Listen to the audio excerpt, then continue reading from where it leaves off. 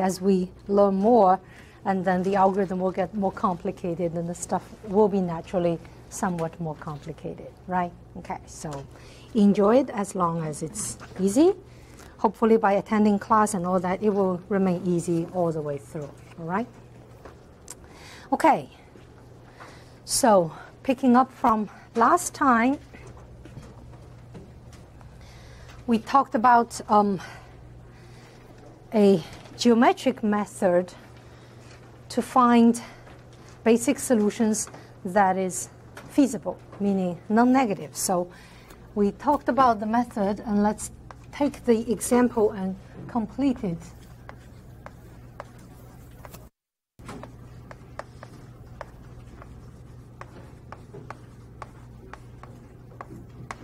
Is that big enough? This is a better board than the other room. Hmm? Okay, so um, let me repeat the example. x1, 1, 0, x2, 1, 3, x4,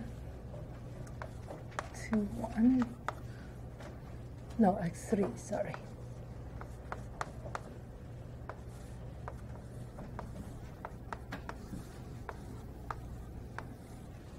Is that right? So that's the example. We call these vectors v1, v2, v3, v4, and this we call v. So last time, our a general observation or general rule would be we wanted to um, express b as a linear combination of two of them if I choose two of them to be the basic variables, right? Because the non-basic variables will set them to be zero in the basic solution. So the question will be, can I express B as non-negative linear combination of two of these variables? Is that right? So the general rule we had last time will be, so in general, if I shall have two vectors, any, let's say v1, v2, this is general, not to that problem, then um, the cone formed by these two vector. So the directions are the only thing that matters here, not the length, because you can multiply v1 by any number and v2 by any number, stretch it longer or shorter. So the cone formed by these two vectors should contain any vector that b can stay such that b is a non-negative linear combination of the other two. Is this clear to all of us? That's the, the key idea, right? So once you have that in your hand, then I can basically check any pair of these with this geometric rule to figure out if I can use x1, x2, or x2, x3, any combination. Okay, so let's um, sketch these four vectors um, to see what we have. So, so in a two-dimensional place, let's don't draw the coordinate line, it confuses. Let's say that's the origin. Which direction will be will V1 be pointing at? 1, 0, that will be the horizontal direction. Is that clear? So it's the direction that matters. So that will be V1. What about V2? So you take one unit horizontal, then you take three unit vertical up. Is that right? So let's say one unit here, one, two, three unit here, I end up here, so I will be in this direction. That will be my V2. It's the direction that matters, okay? And what about V3? I will take two units horizontal and one unit up. Is that right? So two unit horizontal one unit up will be somewhere in that direction. So pointing that, so that's my V3. And then V4, one unit horizontal, eight units vertical. So be very, very vertical, quite steep with slope eight. So that's V4. And where is the B vector? Let me put the B vector with color. So B vector six units horizontal, three units vertical up. Do you see that it's the same as I get rid of the multiple, the common multiple it's the same as two units up, uh, two units horizontal, one unit up. Is that right? So it actually points in the same direction as V3. Do you see? So let me just draw the B like that. Okay, make it a bit longer. That's the B direction. Okay, so now we can answer the questions we um, had last time. So the question is, can x, did we check x1 and x2? Can x1, x2 be used as basic variables? Not only that, but will give a feasible basic solution. That was the underlying thing we're trying to search, right? So what do you think? Where is V1? V1 is here, and V2 is here. Is the B lying in a good cone? Do we see? So what will be the cone formed by V1 and V2? There will be all these directions in between them. Is that right? And B is in there. Is that right? So that's clearly, so B is in the cone. So which means um, x1, x2 as basic variable will give a, a good, meaning feasible basic solution. Okay? Is it clear? Okay, so let's ask some other questions. Say now, um, how about I want to choose um, x2 and x4? Can they be? Can that be good? Would that be a good choice? What do you think? So where is V2, where is V4? It's here, V2 and V4, right? What will be the good cone formed by those two vectors? It will be the smaller angle they form, is that right? So it will be here. Is my B vector in it? No, so that can't be. Is that right? So your answer will be no, because you can go ahead and try it. This will give a non-feasible basic solution.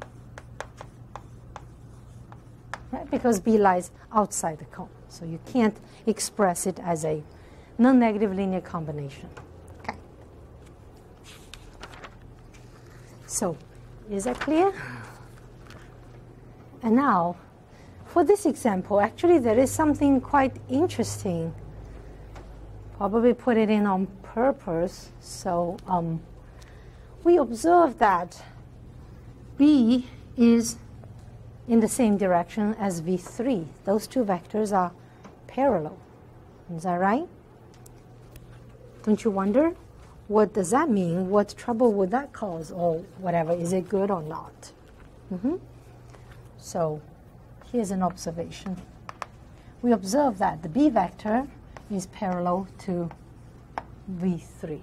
So what does it do? So in particular, I want to ask the following question. So when I choose the set of basic variables, if v3 is one of them, and it's paired with some other variable, can that be a good choice? And if that is good, what's a, what special thing will happen here? right? So, can x2 be a, a choice of a basic variable? Okay, and then I want to know what's special here. Okay, so let's say say um, I want to choose um, x1 and x3 as basic variable.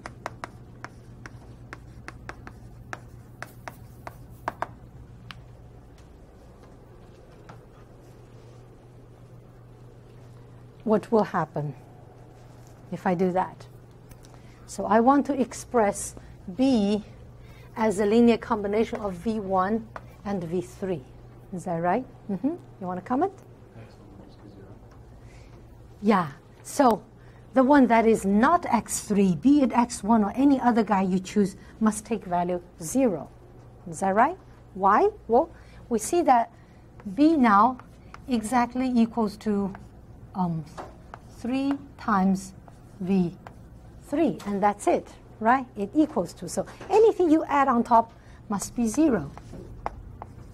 Now, if you choose x1, then it has to be 0. If you pair x3 with x2, then x2 must be 0. Is that clear to us? Mm -hmm. So this will give you x3 equals to 3, but x1 must be 0. All right? If that is your choice. So here we get a basic solution. So if that is a choice, the um, associated basic solution will be the following. So these two are the basic variables, or the other are non-basic. They are all set to be 0. Uh-huh. So um, I will have um, x1 equals to 0, x3 equals to 3. These are the basic ones. And I have x2 equals to x4. Is that what I have? They are 0, and these are non-basic. Okay? So what is strange here?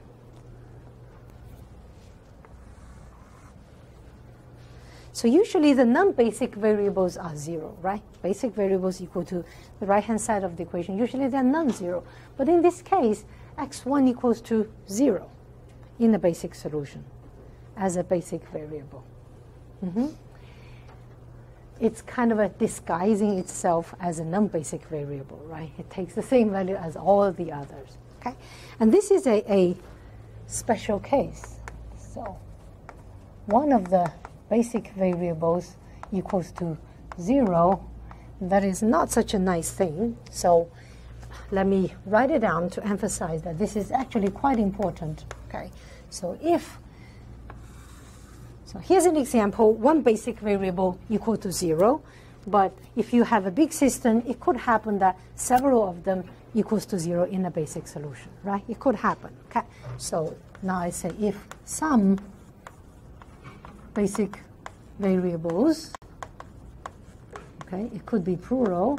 Mm -hmm, is zero in a basic solution.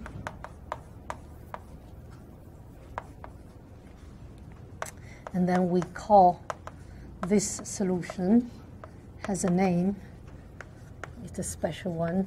It's called to be degenerate. Okay, so that's the definition, the new term. So, and now later on we will see that this is actually quite a, it's a troublemaker, but that comes later. Later on we'll learn what trouble it causes and possibly how to deal with that.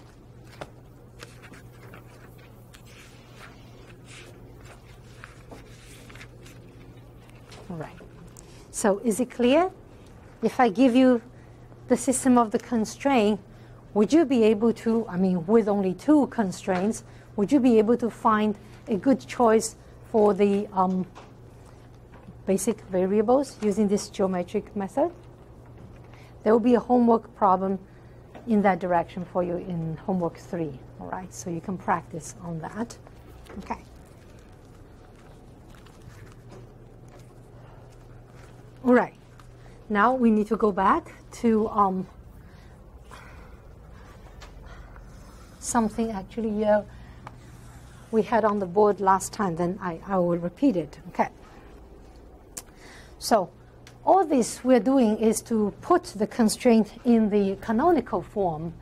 And we observed already last time that if I manage to put it in a canonical form using certain basic variables, then you can express the basic variables in terms of the non-basic ones, right? So that is an observation that we had.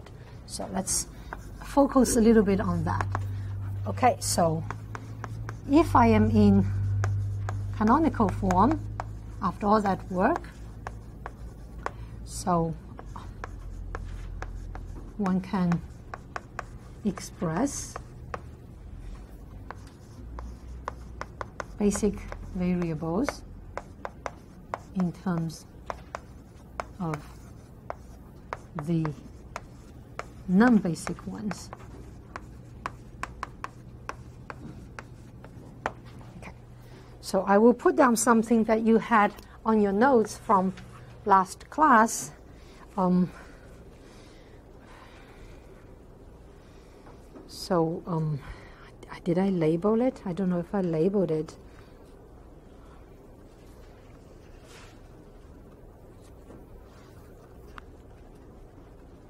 Okay, so so let's say from last class, I'll pull out some. Um, I'll repeat some stuff here. So we had the system. Let me put x1 plus 5 over 8 x2 plus no not that one that one was the later one let's take the one that we set up and we did one step of pivoting, the first canonical form that we ran into with nicer coefficients.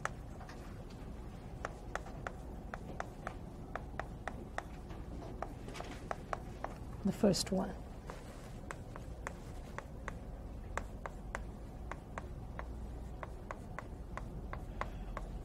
Okay, so we did the pivoting and using x1 x2 as basic va uh, variables. Pivoted, and we have the following. X1 and x2 kind of a, in a diagonal form here. 5 over 3 you have all these in your notes. I just have to repeat.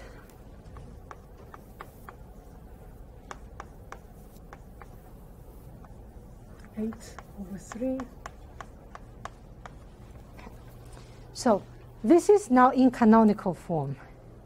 And you see that I can express x1 in terms of x3 and x4 by moving this to the right-hand side, and these are non-basic variables, right? And x2 can be expressed as x3 and x4, which are non-basic variables. So let me write one more step. So x1 just want to point this out.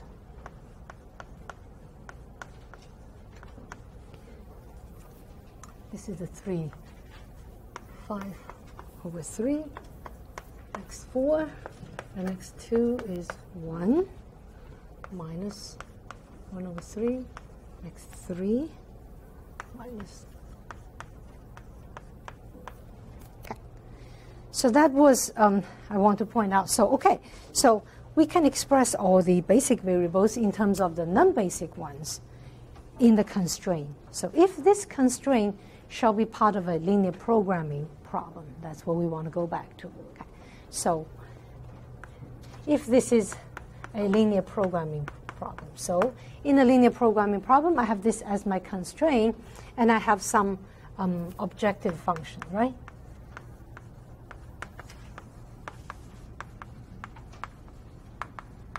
Okay, so for this one, let's say the objective function is some function f depending on x1, x2, x3, and x4, for example. And then I found out that the basic variables x1 and x2 can be expressed in terms of x3 and x4.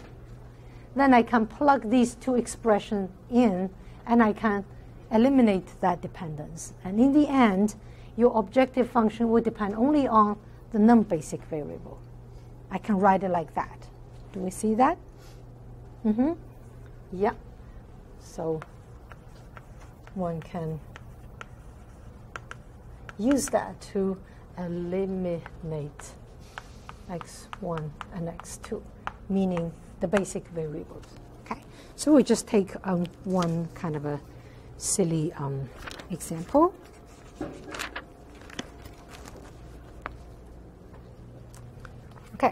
So let's take an example.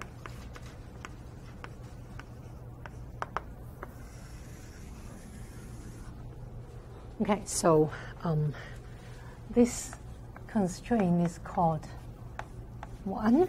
Is that right? And let's say I have the following problem. Minimize. Mm-hmm. Um, C equals to x1 minus x2 plus 2x3 minus 5x4. So that's my objective function. And uh, subject to the constraint is exactly this set, uh, this equation set number two, and plus the um, non-negativity. Okay, so we have this linear programming. And then I did the work. I wrote the constraint in this canonical form, and also I knew that's a good one. It gives me feasible um, basic solutions. Once I've done that, I see that the this function here, the objective function here, inside, I can eliminate x1 and x2, right? By using this relation. I can simply plug it in, okay? So that's the example I want to take. So let me write it here.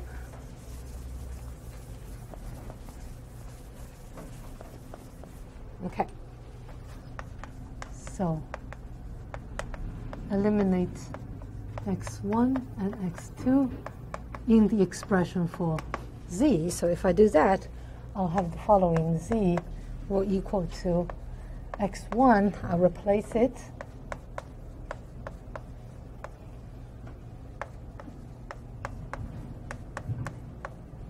That's x1. And then minus, I have x2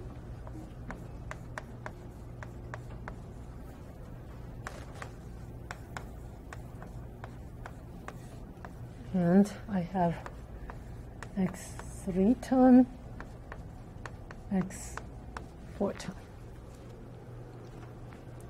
Is that right? So x1, x2 disappeared. It's now it's just manipulation.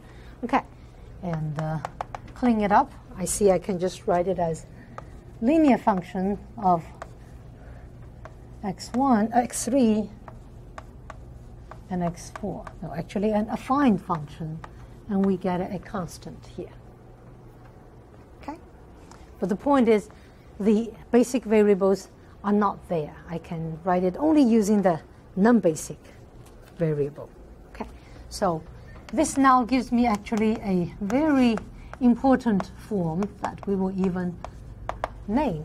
Now this gives the following um, linear programming, I mean, or the same linear programming problem, but now it's in this form.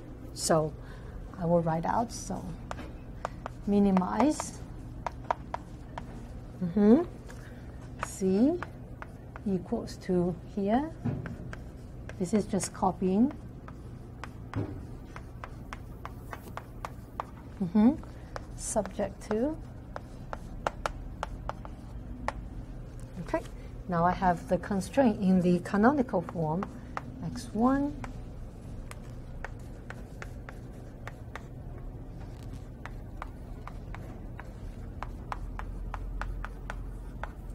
and then x2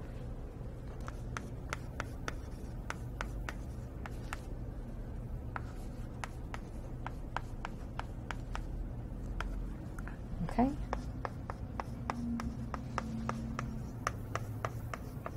and then non-negative assumption okay so now this problem here I will, I will block it It's just the initial linear programming, but we manipulate it and put it in a special form. Is that right?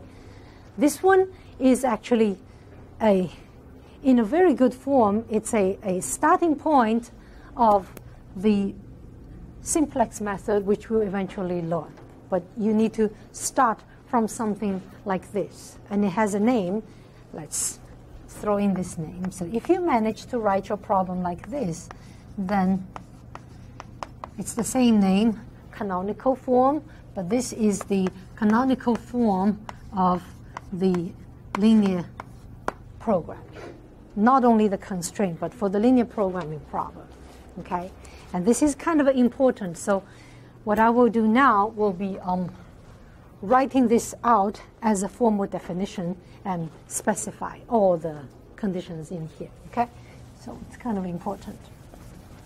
Okay.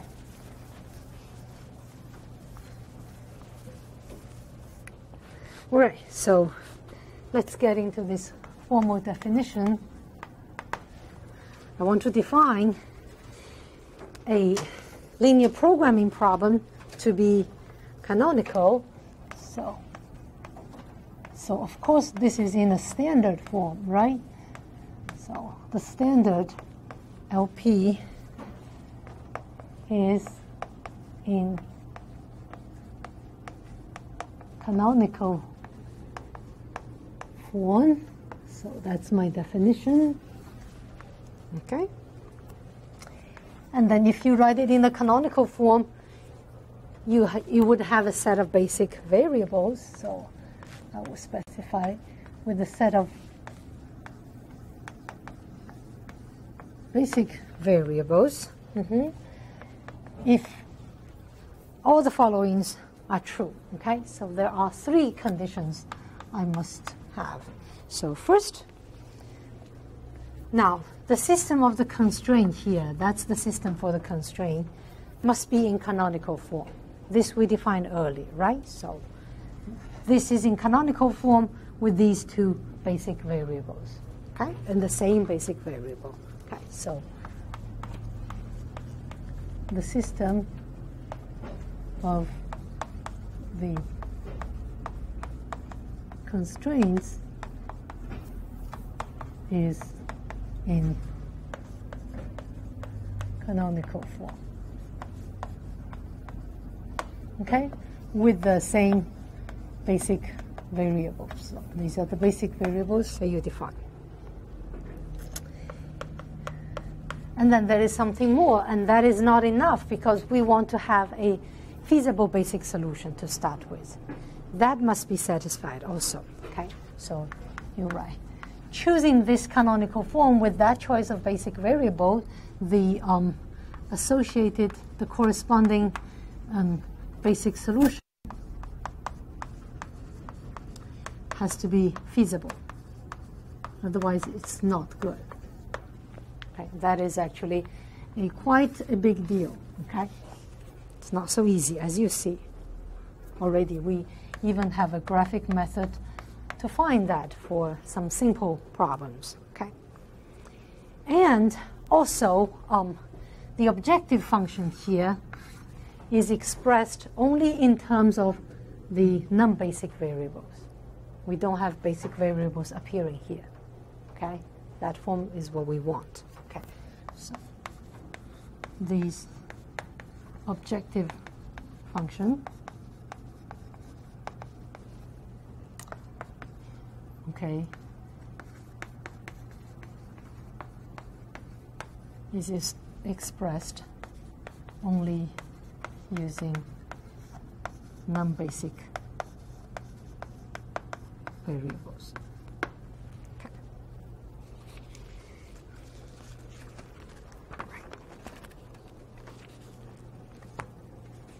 Okay, so for some problems, for the example we have seen so far, we managed to um, rewrite a, the linear programming problem into a the canonical form, right? So this is a, a I will, I will tell you this later on, is the starting point of the famous simplex method. Okay. So is it clear? This definition here? Mm-hmm. Okay. And as I said, that this is a big deal, making it feasible. It's not so easy. Okay. And now we'll start talking about um, simplex method. So that's chapter 3.3. Mm-hmm. So let me put it down.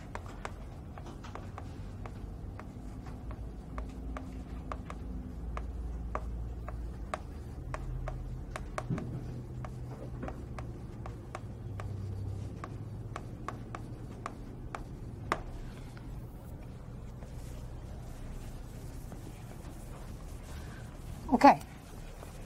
We will not learn today. We will just have an introduction to, to see this method, kind of get an idea of what to do. So what I will be doing will be um, going through an example, not too complicated, with the fewer constraints, and try to solve it, okay?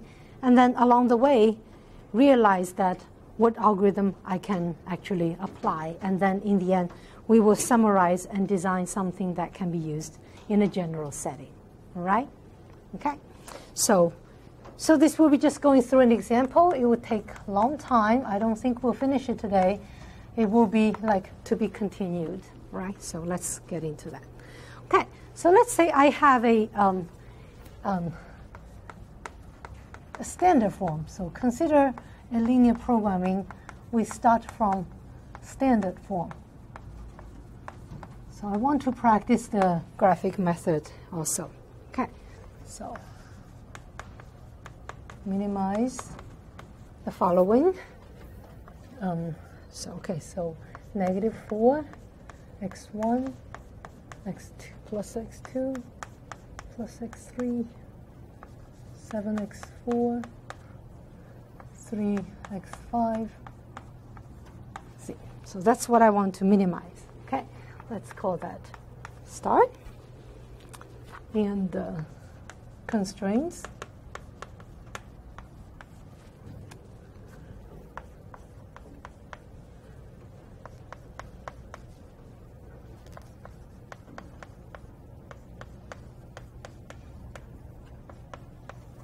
Okay, so that's first one. I have two constraints.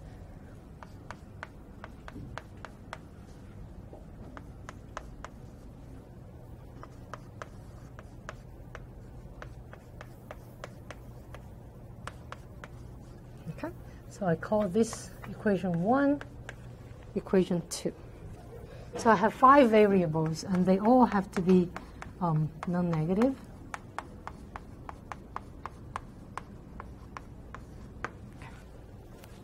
So let's attempt to solve this, right? And see what happens along the way. Let's try to solve it. So first, we see that um, here the constraint, the system for the constraint is not in a canonical form.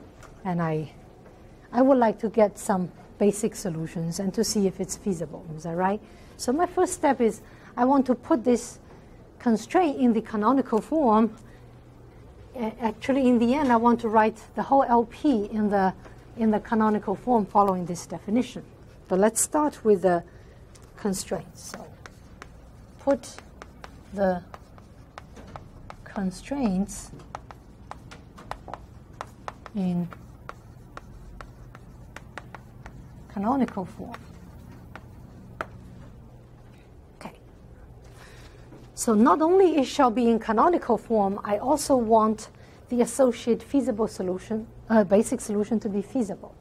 Is that right? Um, so my choice would be I need to select two basic variables, and then I perform the pivoting process that we have learned, and in the end get a basic solution. And I hope that's feasible. Is that right? So choice. So we need to select basic variables. Okay? And then perform pivoting. So you know, there's quite something to do. And in the end, I want to reach a feasible basic solution. Okay? So this word is included here. So for this specific problem, we know how to do that because we have only two equations. We just learned this graphic method. And we can apply it and find out which combination of the, the of two vectors can give me a, feasic, a feasible basic solution. But in general, if you shall have a, a big system with many variables and many constraints and equations, that is not such an easy thing to find right? So I just want to point out that this one here, what I have here, actually is a, a major difficulty. Okay, it's not a piece of cake.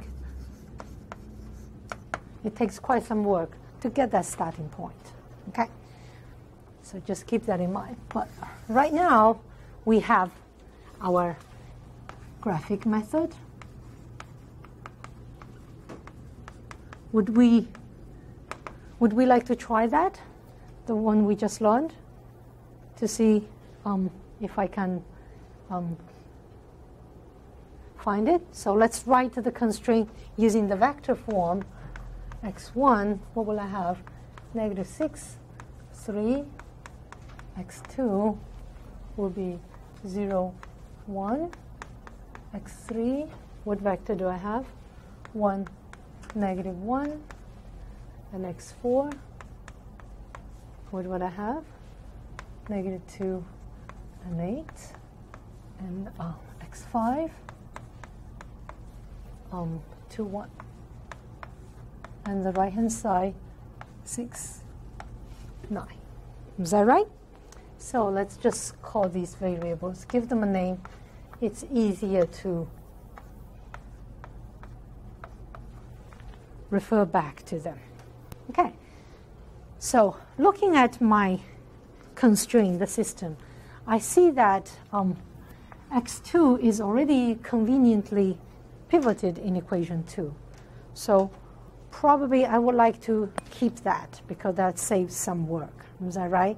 So I would so I would like to figure out can I use x2 combined with one other variable as a good choice of basic variables? Would that be okay? So let's see. So what is the direction for V2?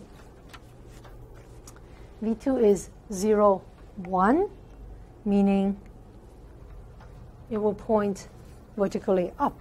Is that right? So this will be V2.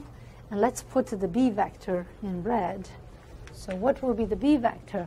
Is 6 and 9, so it's like two units horizontal, three units up. It's almost like slope one, but a little bit bigger slope. So that's the B.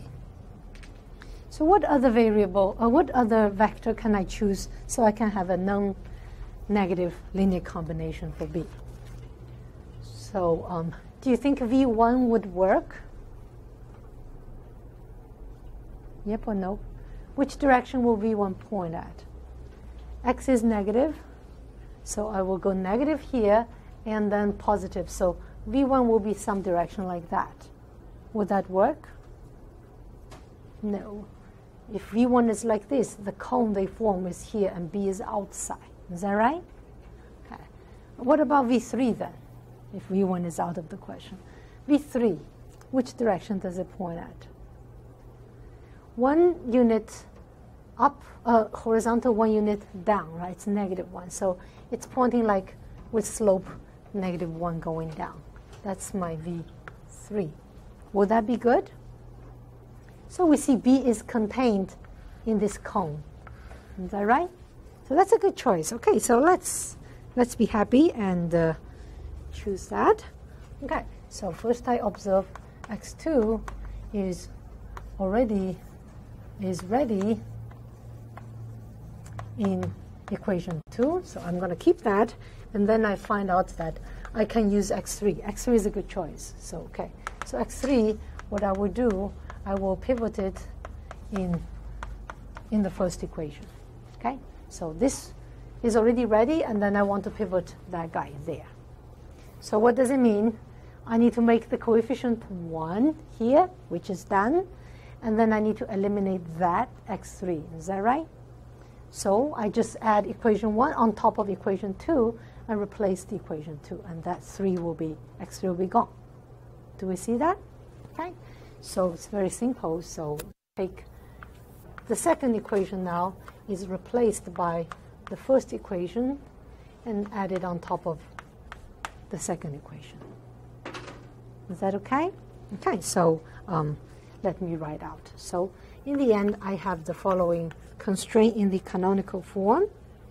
Negative 6 x1 plus x3. Mm -hmm. This is unchanged. And the second equation is slightly changed. 3x1 x2 plus 6 x4 plus 3 x5 equals to 15. So let's label them equation 1 prime and equation 2 prime. So the system we have after one round of putting into canonical form. Okay, so this canonical form is with the, these two as the basic variables, right? So can we write out the basic solution right away? Are we okay? What will be the basic solution for that? Mm-hmm. What do we do with the non-basic variables? They're all set to be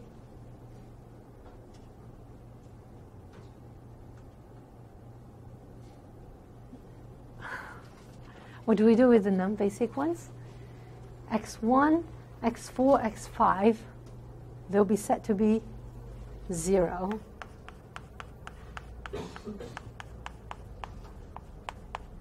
Right? And then x2 and x3 would take the value on the right-hand side.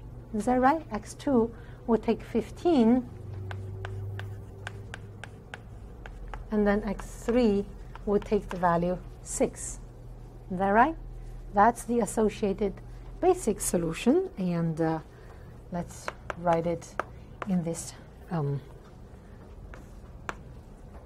tuplet form as a point in the space of five dimension. That will be this. Is that right? x1, x2, x3, x4, x5.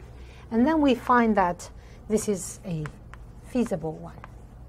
Of course, because we made a good choice. We knew it would be feasible, right? It's non-negative.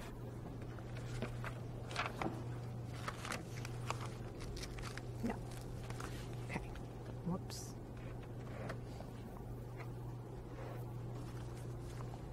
Okay, so that is your first step. Now I have found a good choice of basic variables and my constraints are in canonical form and uh,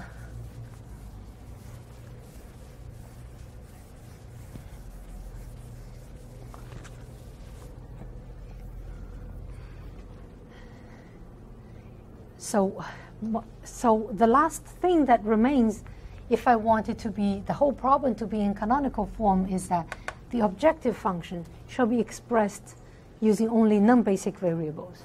All right, so that's my second step. Actually, it's part two of the first step. We're just doing one of it. So I need to adjust the um, objective function. What do we mean? Well, meaning that I need to um,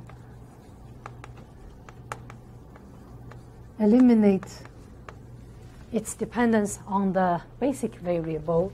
So here would be um, x2 and x3 in it. Is that right? So as we have done in the previous example. So you see, it's in canonical form. So basically this says x3 equals 2. You can move everything to the right-hand side, and it will be an expression of x1, x4, x5 and x4, x2 can be the same. You can put everything on the right-hand side, and it can be expressed by the non-basic variables. So in principle, I could plug these two back in here and get rid of that, right? Okay, so that, that, that you can do. But what we will do here will be um, something more um, geared towards a, an algorithm form, okay?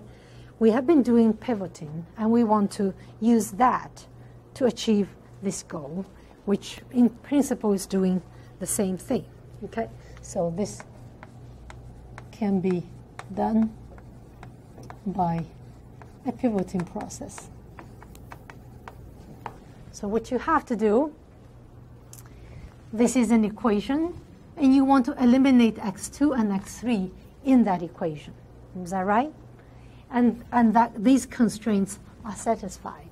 So what you can do, well, you can, let's say I want to eliminate x2, what do I do? Well, I multiply equation in the canonical form. I multiply equation 2 prime by a suitable constant and add on top so it cancels the x2. Is that clear? So it's always the pivoting process. So your code will be, later on we'll have an algorithm. Your algorithm will be just doing the pivoting, right? So let's take a step at that time. So let's say to eliminate x2, what can we do?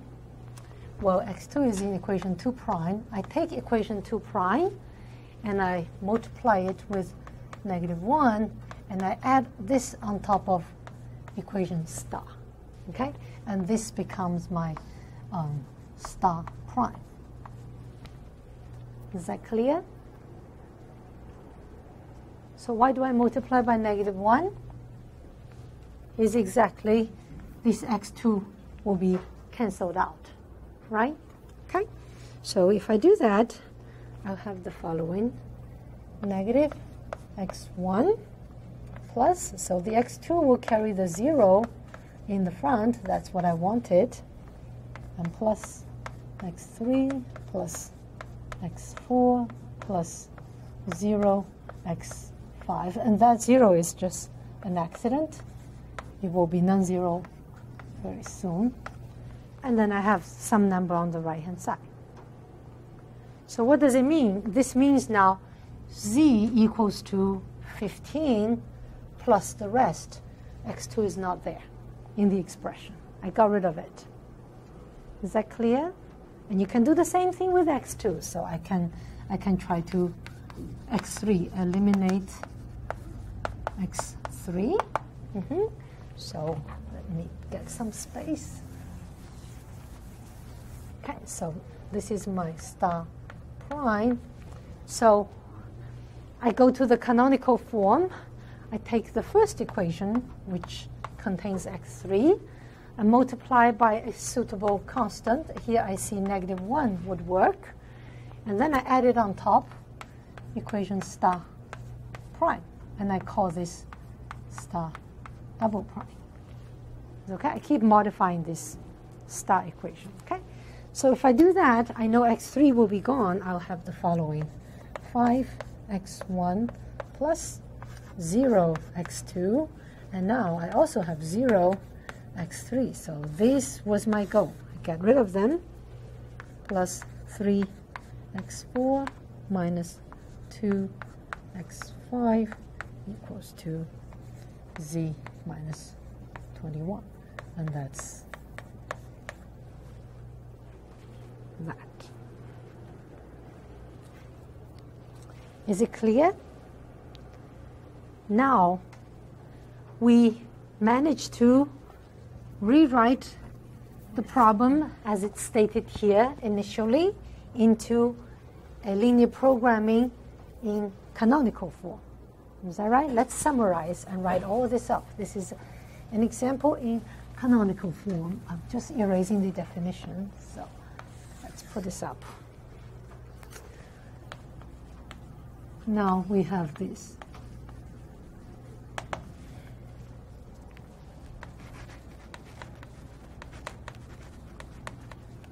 Minimize z with the following. I'm going to write it in this following form. So I have negative 6 x1 plus x3 plus negative 2 x4 that's 1 and the second one is x2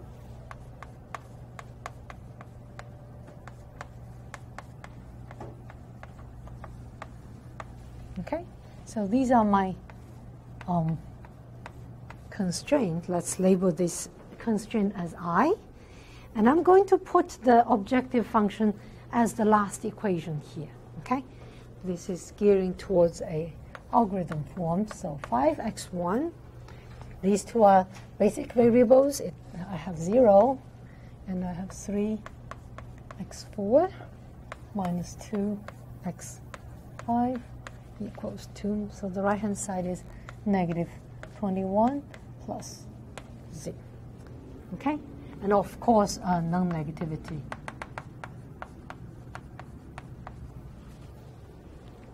So now the problem is in canonical form as a linear program. Mm -hmm. And we see that um, it's in canonical form with the basic variables x2, x3, and the corresponding associated basic solution. So what is the basic solution? We, we wrote it down earlier there. So 0, 15, 6, 0, 0. And what is the z value at this basic solution? How do you find that out? At the basic solution, what is the z value? What, what number? The number is on the board. It's already prepared. You just have to find it.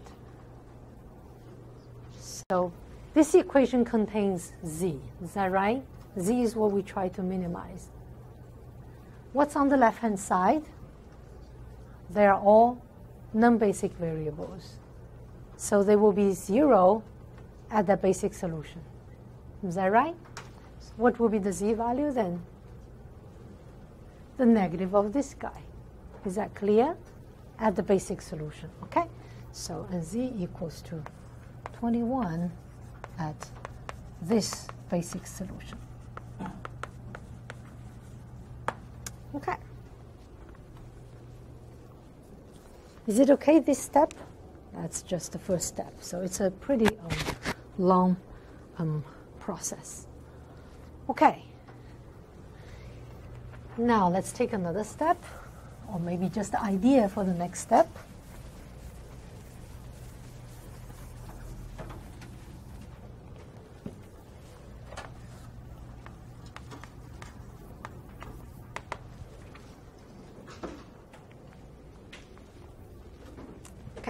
So this is actually the, the key idea of the simplex method. Let's talk a little bit about this before we um, um, before we jump into it. So simplex method. This is actually a key idea. Okay. So so what is the um, a basic solution that we have found? Basic solution is a solution that um, all the non-basic variables are zero, and the basic variables are non-zero, um, this actually associates to some observation that we made earlier of the examples we saw. So the examples we saw in 2D when we draw the feasible region and we find the maximum or minimum, we found out that the maximum and minimum generically usually is found at the vertex at the boundary where the conditions are pushed to the limit. Is that right? And these points are actually the basic solutions. Okay? There, the non-basic ones are set to be zero that you just you think that's a slack variable, it's exactly being pushed to the boundary. Okay. So assuming that observation is general, which we will prove later, then if I manage to locate one vertex on the boundary that is feasible and then I know that the optimal will be at some other vertex points, right? So I just need to start from that point and look around and see which edge could I move to reach the next vertex so that my um, objective function can be even smaller. Right? So just move from one to the other, but along the edge. Okay, so, but, okay, we'll write it down in terms of what you have to do. So we will want to move to another, okay, it's important, it should remain feasible, basic or basic feasible solution, okay? And it should be better, so that gives smaller z. And we want to take one step. We want just move to the neighboring one. And this means um, I could only switch one basic variable into non-basic one and bring in, just make switch between one variables. Okay, so by replacing exactly, okay, it's important, one, exactly one basic variables. Okay? And meaning you keep all the other basic variables. You just switch one and search among the non-basic ones to see which one I switch will give me this advantage. Is that clear? So that is the idea, but okay. Then, um, okay, let me, let me stress. Keep all the others.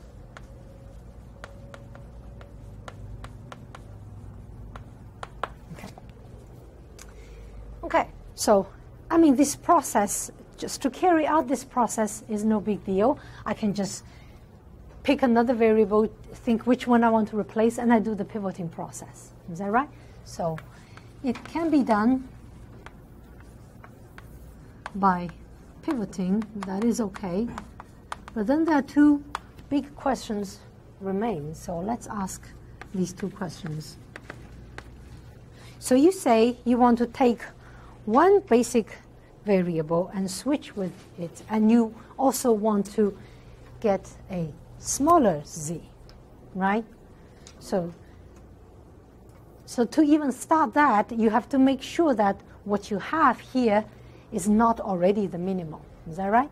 If you already are at the minimum, then you should not move away from it, and you're done, right? So how do I know that I am not at the minimum yet? I need to answer that question. Is that right?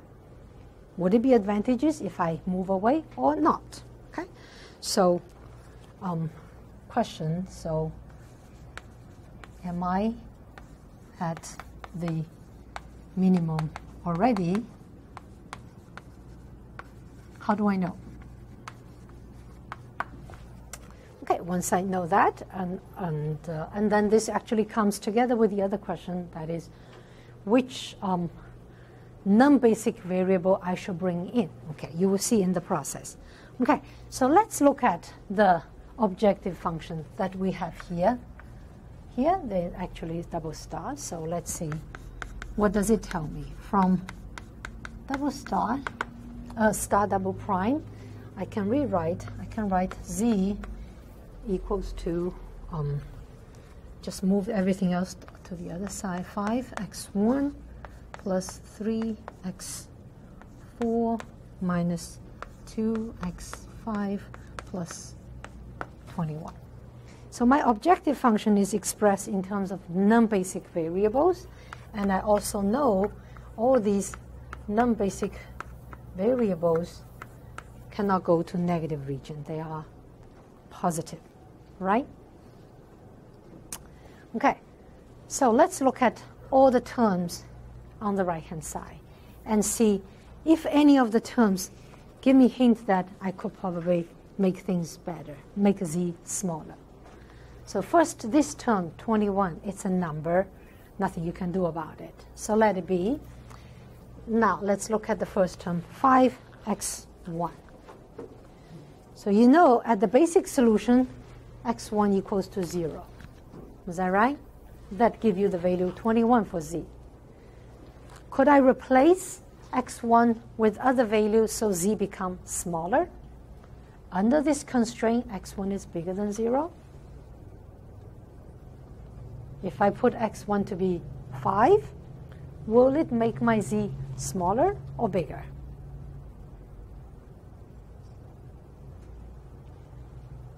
If I add a 5, then I get a 25. I add that on top of 21 to give my z.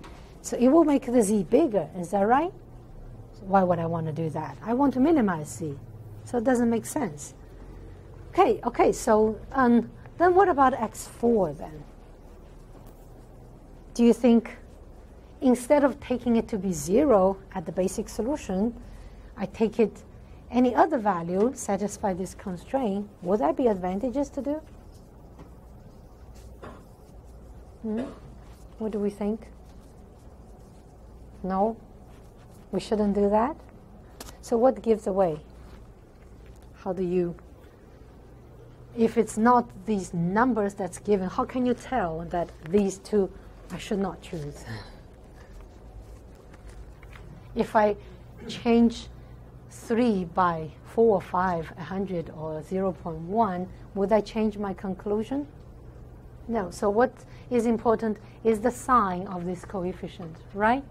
If they are positive, then it doesn't make sense to change it. So let's write down. So these two here, they have positive coefficients in the front.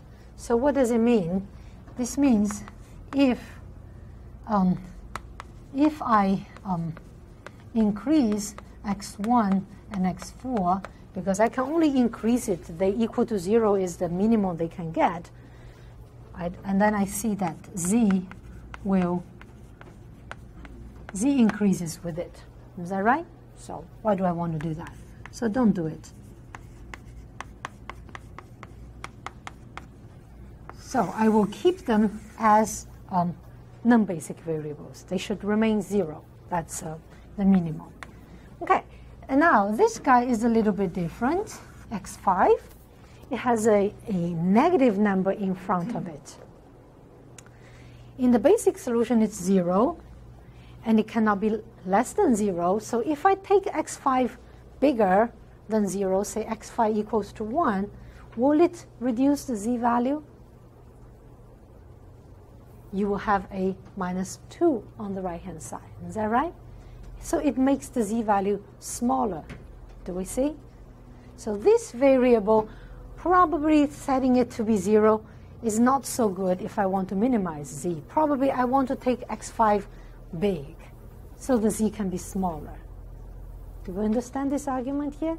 Right? So let's put down here. So if I increase x5 to make it bigger than 0, and then I see z will, z decreases. Well, that's good. That's what I want to do, right? So this is hinting that what one should do, we should bring x5 into the basic variable the set of basic variables because a bigger than 0 x5 seem to be reducing the value of z. Do we see that? So we now we made a decision. I want to use x5 also as one of my basic variables, and then I need to replace it with someone, isn't it? I can only have fixed number of basic variables. So here comes the second question. Which one should I replace x5 with?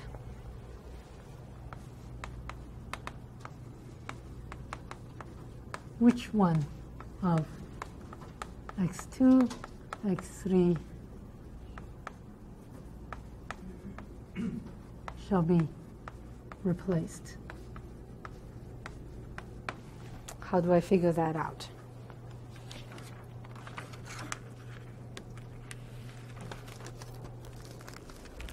Mm-hmm.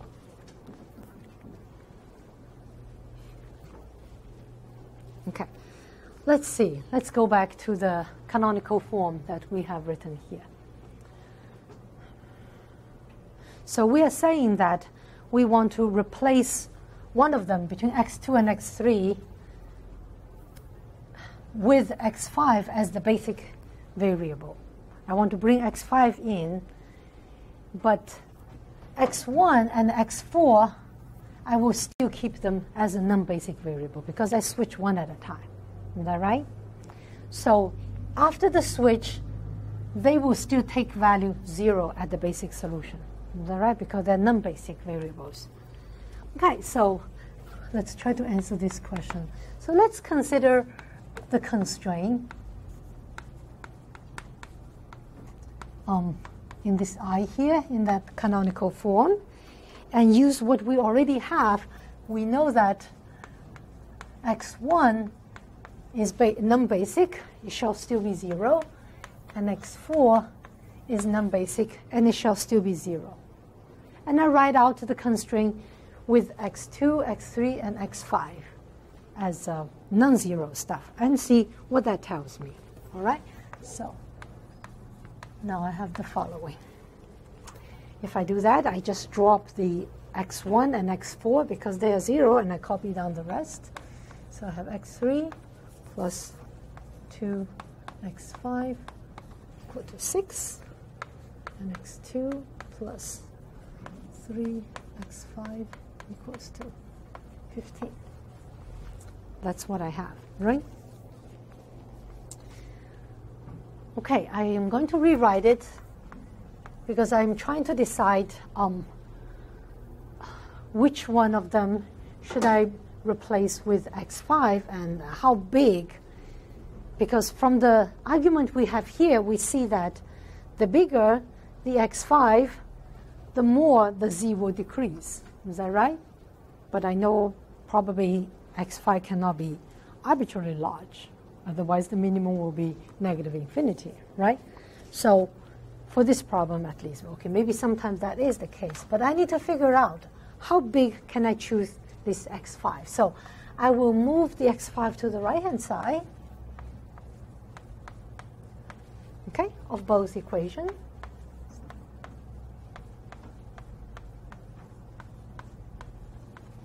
Okay. So the advantages of this is that now I know x3 equals to that, and I also know x3 cannot be negative.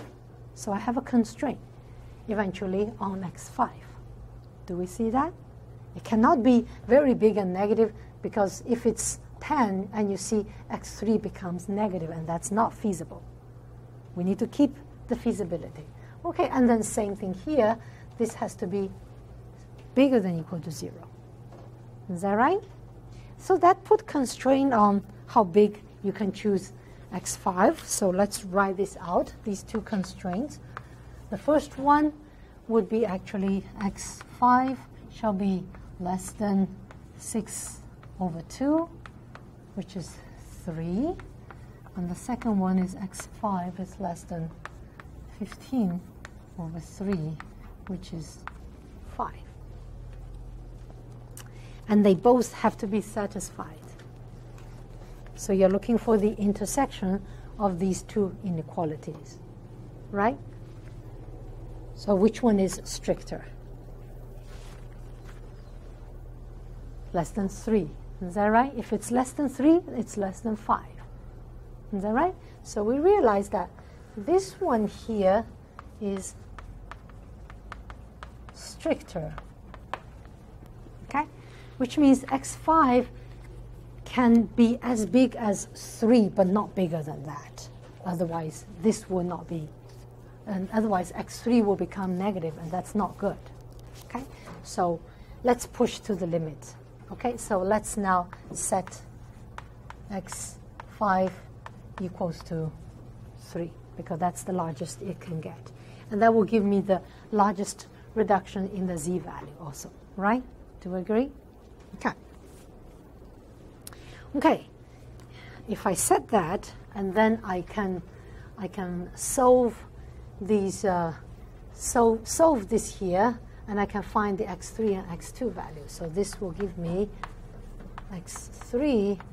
If I put x5 to be 3, that's 0, and then x2 will get 15 minus, um, 9. That'll give me 6, which is bigger than 0, which is good, right? It will be in the feasible region. Okay. So, so this computation now suggests a another basic solution, doesn't it? So now I have a basic solution by putting x5 equal to 3 and x3 equals to 0 so I will have the following. So um, basic solution will be the following. So x1 is not changed, and now x2 becomes 6, x3 is 0, and x4 is 0. It's still non-basic, and x5 is 3. I get another solution containing two non-zeros, which is basic. All the others are zero, which is non-basic. So basically what I'm doing is this computation is hinting that now x3 is 0, meaning I should move x3 to a non-basic variable. Right? Because when it, it, it's now set to be 0. That's what the non-basic variables usually take the value from. So are we convinced that this basic solution actually gives us smaller z-value? Can we figure out the z-value at this basic solution? So what will be the z-value? So the expression for z is given here, right? Mm -hmm.